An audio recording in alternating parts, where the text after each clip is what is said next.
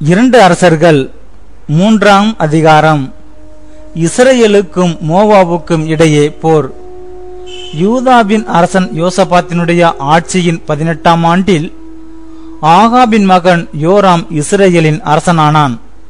அவன் பனிரெண்டு ஆண்டுகள் சமாரியாவில் இருந்து கொண்டு ஆட்சி செலுத்தினான். அவன் ஆண்டவரின் பார்வையில் தீயதனப்பட்டதை செய்த போதிலும் தன் தாய் தந்தையைப் போல் அவ்வளவு தீயவனாய் இல்லை.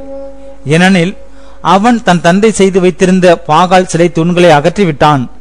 எனினும் இஸ்ரேலை பாவத்திற்கு உள்ளாக்கிய நெபாட்டின் மகன் எருவோமின் தீய வழியில் அவனும் நிலையாய் நின்றான். அதை விட்டு அவன் விலகவில்லை. இது நிற்க மோவாபிய மன்னன் மேசா ஏராளமான ஆட்டு மந்தைகளை வளர்த்து வந்தான். அவன் இஸ்ரேல் அரசனுக்கு ஆண்டுக்கு ஒரு லட்சம் செம்மறிகளையும் ஒரு லட்சம் ஆட்டு கிடாய்களின் கம்பளி ரோமத்தையும் கப்பமாக கொடுத்து வந்தான்.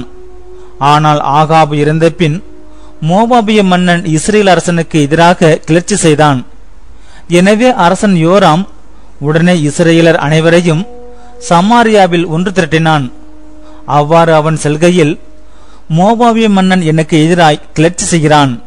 எனவே மோவாபுக்கு எதிராய் போரிட என்னோடு வருவீரா என்று கேட்குமாறு யூதாவின் அரசன் யோசபாத்திடம் ஆள் அனுப்பினான். அவன் மறுமொழியாக வருகிறேன். உம்மைப் போலவே நானும் தயார். உம் மக்களைப் போலவே என் மக்களும். உம் குதிரைகளைப் போலவே என் குதிரைகளும் என்றான். பின்பு அவன் எவ்வழியே சென்று நாம் தாக்கலாம் என்று கேட்டான். அதற்கு அவன் யூதம் பால்நில வழியாக போவோம் என்று பதிலளித்தான். அவ்வாறே இஸ்ரேல் அரசன் யூதாவின் அரசனோடும் ஏதோமின் மன்னனோடும் புறப்பட்டான். அவர்கள் ஏழு நாள் சுற்று வழியில் சென்ற பின் படை வீரர்களுக்கும் அவர்களை பின்தொடர்ந்த விலங்கினங்களுக்கும் தண்ணீர் கிடைக்கவில்லை. அப்பொழுது இஸ்ரேல் அரசன் அந்தோ ஆசர்களாகிய நம் மூவரையும் ஆண்டவர் இங்கே கூட்டி வந்தது மோபாபியர் கையில் ஒப்புவிக்கவா? என்றான். அப்பொழுது யோசபாத்து ஆண்டும் விருப்பத்தை தெரிவிக்கக்கூடிய இறை வாக்கினர் யாரும் இங்கு இல்லையா? என்று கேட்டான். இஸ்ரேல் அரசனின் பணியாளன் ஒருவன் சாபாட்டின் மகன் எலிசா இங்கே இருக்கிறார். இவர் எலியா கைகளை கழுவும்போது தண்ணீர் ஊற்றி வந்தவர் என்றான். யோசபாத்து ஆம் ஆண்டின் வாக்கு அவரிடம் உள்ளது என்றான். எனவே இஸ்ரேல் அரசன் யோசபாத்து ஏதோமின் மன்னன் ஆகிய மூவரும் எலிசாவிடம் சென்றனர். எலிசா இஸ்ரேல் அரசனிடம் உனக்கும் எனக்கும் என்ன உறவு? உன் தந்தையின் இறைவாக்கினரையும் உன் தாயின் இறைவாக்கினரையும் நாடி செல் என்றார். ஆனால் இஸ்ரேல் அரசன் இல்லை ஆண்டவர்தாம் அரசர்களாகிய எங்கள் மூவரையும் மோவாபியர் கையில் ஒப்புவிக்கும்படி இங்கே கூட்டி வந்துள்ளார் என்றான். எலிசா அவனை நோக்கி நான் பணியும் படையில் வாழும் ஆண்டவர் மேல் ஆணை. யூதாவின் அரசன் யோசபாத்தின் மீது நான் பெருமதிப்பு கொண்டுள்ளேன். இல்லையேல் உன் முகத்தில் விழித்திருக்கவே மாட்டேன். ஒரு பாணனை அழைத்து வாருங்கள் என்றார்.